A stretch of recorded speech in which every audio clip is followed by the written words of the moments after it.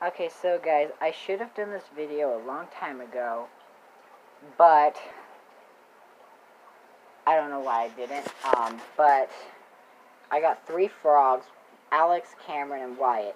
Alex was named after my boyfriend, um, who I don't, who I broke up with not too long ago. Wyatt and Cameron, his two best friends. Alex isn't going to be in this video because he escaped the tank and got mauled to death by these two and stuff. But Wyatt and Cameron are still here. And then I got a snail named Antana. Actually, my mom named him.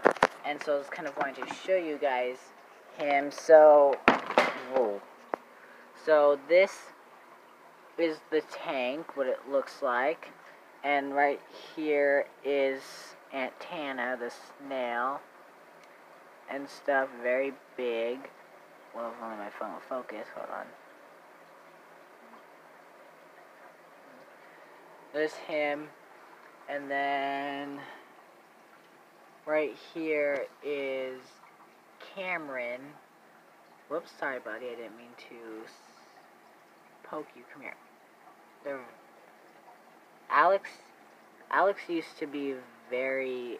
Okay, fine. Alex used to be very sociable, but now, but he's since he's gone now. He's, and stuff. You're gonna have to move. Um, and then under here is Wyatt. He's a little tree frog. Hold on, me get focused. Tree frog and stuff. So, yeah, this is what their tank looks like, and those are the animals. So, Cameron, and Hannah and Wyatt. So, yeah. Bye-bye. Wait, actually, oh, and also, by the way, Twisty, right here, as you can tell, is a lot bigger from those other videos and stuff, and he would like to say hi. Go Gregory. I love this cat. So, yeah. Um, I wish you all could have met Alex because, oh my god, he was a precious little thing. Yeah, Wyatt and Alex were tree frogs, and then Cameron's north northern red-legged frog and stuff. And so, yeah.